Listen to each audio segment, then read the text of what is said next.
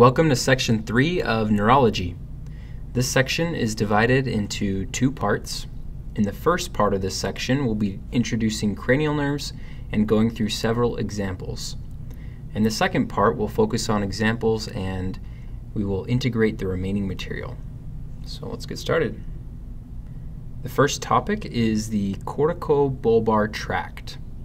This is figure 8.5 from your text, which shows a coronal view of the brain. For step one, you need to know that the corticobulbar tract is a cranial nerve pathway that connects the upper motor neurons to the lower motor neurons. Remember, all motor information originates from upper motor neurons in the primary motor cortex. This remains true when we talk about the cranial nerves. So an upper motor neuron originates in the primary motor cortex, which we'll assume is about right here, this region where I'm drawing circles. And these neurons send axons down through the brain and through the internal capsule. So down through the internal capsule. Recall from section 1 that the corticobulbar tract passes through the genu of the internal capsule. Once past the internal capsule, the axons decussate just above each lower motor neuron in the brainstem. Let's imagine that this represents the brainstem. We'll say this is the midbrain, the pons, and the medulla. So again, the lower motor neurons of the cranial nerves are located within the brainstem, which I'll draw here. These are also called cranial nerve nuclei. It's important to know that many of the cranial nerve nuclei span large segments of the brainstem. So, for example, while the trigeminal cranial nerve may emanate from the pons, the nucleus of the trigeminal cranial nerve may actually be seen in the pons, medulla, and even part of the cervical spinal cord. Okay, once the axons from the upper motor neurons pass the internal capsule, they decussate directly superior to the cranial nerve nucleus that they innervate. So for example, the third and fourth cranial nerve nuclei are in the midbrain. So we'll write third and fourth. So the axons innervating these nuclei would cross over right above that region. So again, this is the left side of the brain and this is the right side of the brainstem. So this blue circle would represent the third and fourth cranial nerve nuclei on the right side of the brainstem. Obviously, the opposite side of the brain would do the same thing. It would cross over directly above the lower motor neuron that is innervated. This same principle holds true for all the cranial nerve nuclei receiving motor information from the primary motor cortex. Finally, it's important to recognize that the corticobulbar tract is quite complicated and lesions of the tract are fairly unpredictable. So please don't spend time memorizing all of the intricacies of the corticobulbar tract. If you understand the general idea and the pathway we just covered, you'll be well prepared for step one. Okay, with this in mind, let's look at cross sections of the different levels of the brainstem to look at each of the cranial nerve nuclei. This is figure 8.16, which shows a transverse section of the midbrain. This is anterior and this is posterior. For step one, you need to be able to recognize a transverse section of each level of the brainstem. The midbrain can be easily identified by the cerebral crura, which are right here.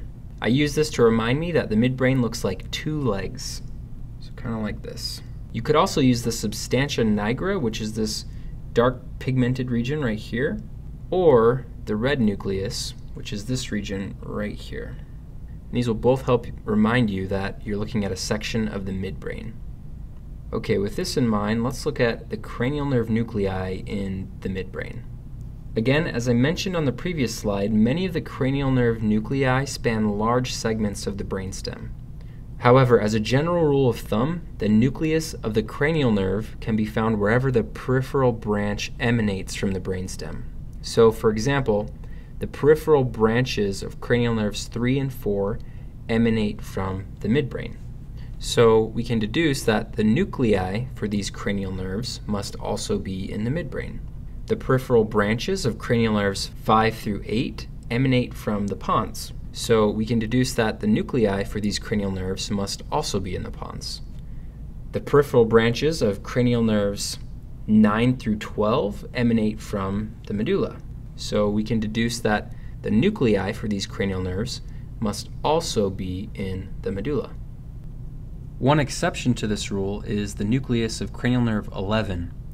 The nucleus of cranial nerve 11 resides in the cervical spinal cord, but the peripheral branch of this nerve emanates from the medulla.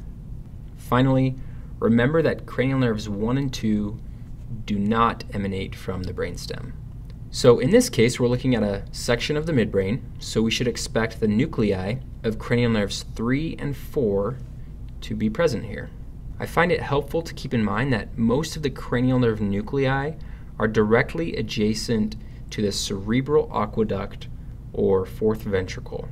We'll talk about this in more detail later, but recall that the cerebral spinal fluid moves from the third ventricle into the fourth ventricle via the cerebral aqueduct. In this image, we can see the cerebral aqueduct right here. With this logic, we'd expect the nuclei for cranial nerves 3 and 4 to be close to the cerebral aqueduct, which they are. From this figure, we can see the nucleus of the oculomotor nerve, or cranial nerve 3, right here. We can't see the nucleus for the trochlear nerve, or cranial nerve 4, because it's directly inferior to the oculomotor nucleus. However, if we took a cross section of the midbrain directly below this region, we'd have a very similar figure and we'd be able to see the trochlear nucleus. For your reference, this is a myelin stain of an actual microscopic cross section of the midbrain.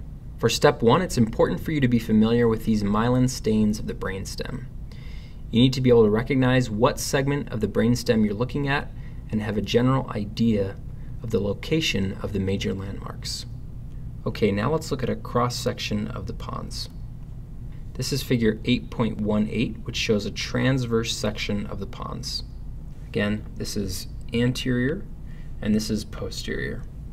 The pons can be easily identified by the transverse pontine fibers, these little fibers right here.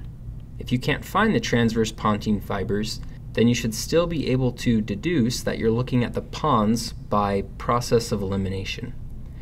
This is because the midbrain and the medulla have a very distinct appearance. Okay, with this in mind, let's look at the cranial nerve nuclei in the pons. Recall that cranial nerves 5 through 8 emanate from the pons.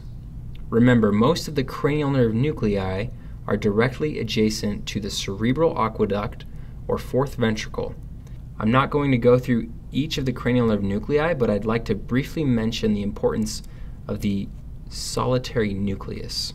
For step one, you need to know that the solitary nucleus is a large nucleus that spans much of the brainstem and contains sensory information for cranial nerves 7, 9, and 10. I use the letter S in the word solitary to help remind me that this nucleus contains sensory information. Rather than memorizing all of the details of cross sections of the brain, I find it helpful to use a landmark called the sulcus limitans as a guide to answering many of the cross-sectional questions you'll see. The sulcus limitans, which is approximately right here, is useful because it divides the sensory nuclei from the motor nuclei. Those nuclei lateral to the sulcus limitans are sensory, and those nuclei medial to the sulcus limitans are motor. I use the letter M in the word medial to help me remember that the nuclei medial to the sulcus limitans are motor nuclei. So in summary, if you can identify what section of the brainstem you're looking at, and you know that the nuclei located laterally are associated with sensory information, then you should be able to get all the step one questions correct that are associated with this topic. For your reference, this is a myelin stain of an actual microscopic cross-section of the pons. You can clearly see the transverse pontine fibers right here.